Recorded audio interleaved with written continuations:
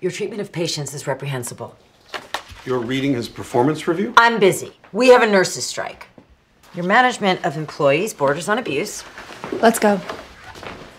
No, I don't want to hear it. You are overtly contemptuous of hospital hierarchy. And covertly. But I s- suppose you didn't know about that. Your attitude towards supervisory personnel is disrespectful, and a disturbingly large proportion of your comments are racist or sexist. That top makes you look like an Afghani prostitute. Would be an example of that.